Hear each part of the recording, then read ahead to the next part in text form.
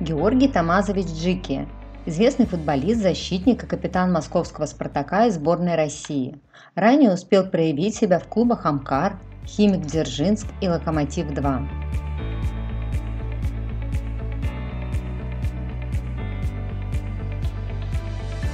Георгий Джикия родился 21 ноября 1993 года в Москве, куда его родители переехали из Абхазии. Отец футболиста в прошлом был индивидуальным предпринимателем, но когда сын стал звездой, он оставил работу. Мать посвятила себя заботе о семье. Георгий был их средним ребенком. Старший брат спортсмена решил стать стоматологом, а младший некоторое время тоже играл в футбол, но затем сосредоточился на учебе. Джекия был еще маленьким, когда семья переехала в подмосковную Балашиху, где и прошли ранние годы его биографии. Там отец отвел мальчика в местную футбольную секцию «Виктория». Первым тренером будущей знаменитости стал Сергей Александрович Михеев. Спустя 4 года Георгий перешел в школу «Локомотив-2». Тренировки занимали почти все свободное время, что негативно сказывалось на учебе. Но видя, как сильно наследник увлечен футболом, родители поддерживали его. Высшее образование спортсмен получил в Московском государственном областном университете, а в 2020 году он защитил диплом магистра физической культуры и спорта. Георгий изначально играл на разных позициях. Начинал он ближе к нападению, затем сместился в центр, а позже проявил себя в защите. А однажды, когда спортсмену было 14 лет, он отправился на сборы в Дагомыс. Во время матча одному вратарю сломали нос, а второй не смог выйти на поле из-за высокой температуры. Джикия надел перчатки голкипера и занял место в воротах, чтобы команда закончила матч. Уже тогда юноше удалось обратить на себя внимание. Первый профессиональный контракт он заключил в 2011 году, влившись в состав «Локомотива-2». Это случилось по инициативе тренера Евгения Харлачева. Зарплата футболиста составляла 15 тысяч рублей – Денег хватало на транспортные расходы, подарки для близких и походы в кафе.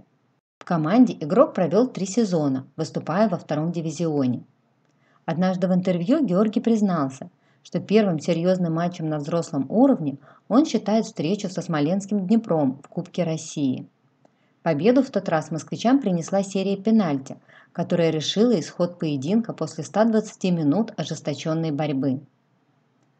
Джеки мог бы войти в основной состав локомотива, его даже вызывали на сборы, но закрепиться ему не удалось. Причиной стала смена тренера.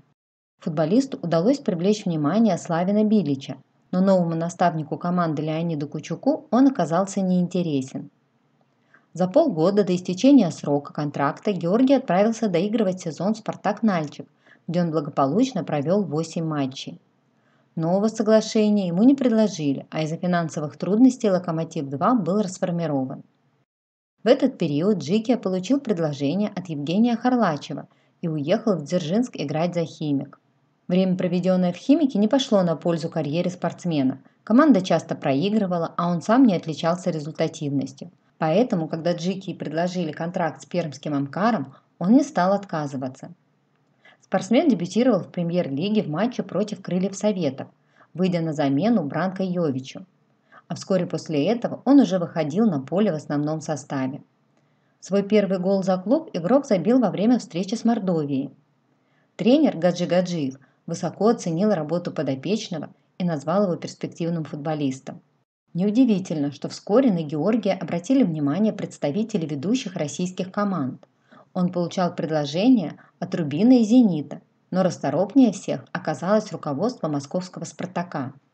Спортсмен перешел в клуб в декабре 2016 оформив соглашение о сотрудничестве на 4,5 года. Дебютный матч за новую команду Георгий провел против Уфы. Он участвовал в восьми играх чемпионата России 2016-18 года, в котором «Спартак» выиграл золотую медаль. Следующий сезон спортсмен начал на позиции основного центрального защитника. Но уже во время встречи с китайским футбольным клубом Шанхай Сипк игрок получил травму – разрыв крестообразных связок левого коленного сустава. Чтобы восстановиться, ему пришлось пропустить весенний период чемпионата России. После возвращения на поле Георгий продолжил демонстрировать впечатляющий результат, и путем голосования его назначили вице-капитаном команды. Уже в июле 2019 года тренер Олег Кононов официально объявил Джикию новым капитаном «Спартака». Спортсмен не подвел наставника. По итогам сезона он стал обладателем приза «Золотой кабан» как лучший игрок. Отметили успехи звезды и в редакции «Большого спорта». Следующий год начался для звезды ярко, но цепочку спортивных достижений пришлось прервать из-за пандемии COVID-19. Для мужчины это время оказалось тяжелым. Приходилось тренироваться по видеосвязи, а дома было нечем заняться. Поэтому Георгий решил помогать волонтерам – Соблюдая все меры предосторожности, он развозил продукты ветеранам. Но вскоре футболист и сам стал жертвой опасного вируса. Его состояние было изменчивым, поэтому пришлось отсидеть на карантине все две недели.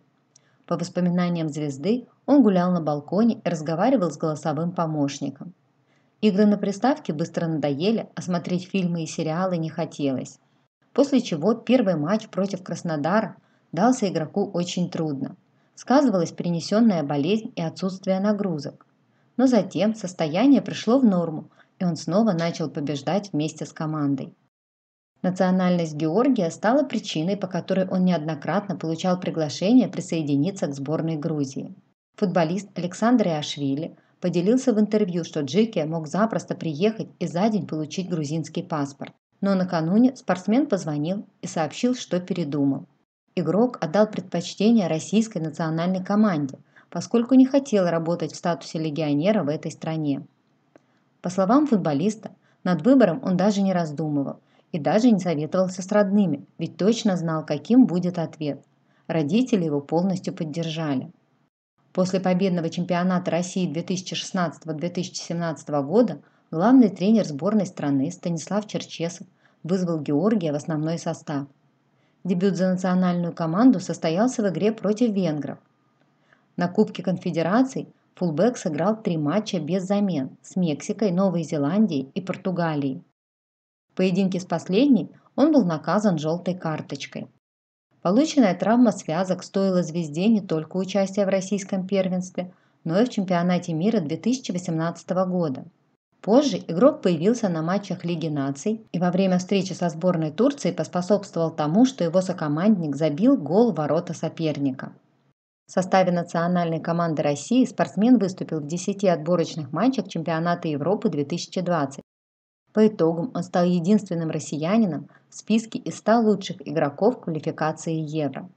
Но сам турнир был перенесен из-за пандемии коронавирусной инфекции, что стало для Джики ударом. После пропущенного чемпионата мира он рассчитывал проявить себя на этом международном соревновании, но ему не удалось. 2021 год начался для игрока московского «Спартака» ярко, с уверенных побед над соперниками. А вот во время матча сборной России против национальной команды Словакии Георгию проявить себя не удалось. Турнир прошел в рамках отборочного этапа чемпионата мира 2022 и закончился поражением россиян.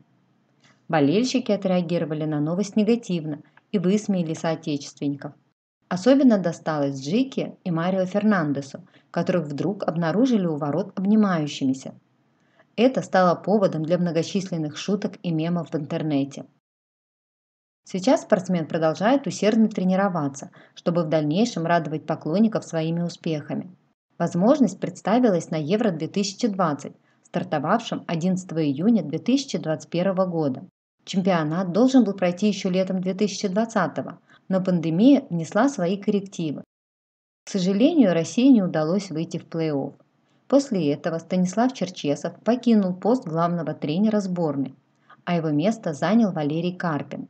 Новый наставник назначил Джикию капитаном национальной команды на матче отборочных турниров чемпионата мира 2022 года. Личная жизнь знаменитости скрыта от посторонних глаз – в Инстаграме он делится преимущественно фото с тренировок и матчей. По признанию игрока, возможность комментировать посты он отключил, чтобы ограничить себя от негатива. Футболист не понаслышке знает о том, какую шумиху может спровоцировать публикация. В 2018 году пресс-служба «Спартака» поручила ему вести твиттер-аккаунт клуба. Вскоре там появился видеоролик, в котором защитник снимал тренировку бразильских легионеров и назвал их шоколадками – После этого западные журналисты возмутились, посчитав такую формулировку расистской. Пресс-служба команды извинилась и удалила скандальный ролик. Вместо этого на странице разместили видео, в котором полузащитник московского клуба Фернандо Лукас Мартинс на ломаном русском языке заявил, что в «Спартаке» нет расизма и назвал его семьей, после чего инцидент был исчерпан. Другая публикация, хоть уже и не игрока, тоже спровоцировала волну обсуждений.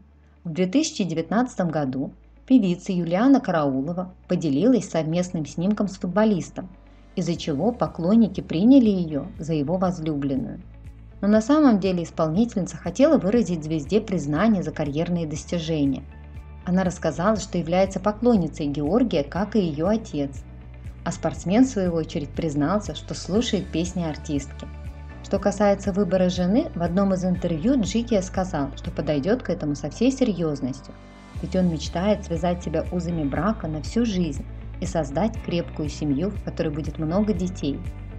В выборе невесты игрок следует кавказским традициям.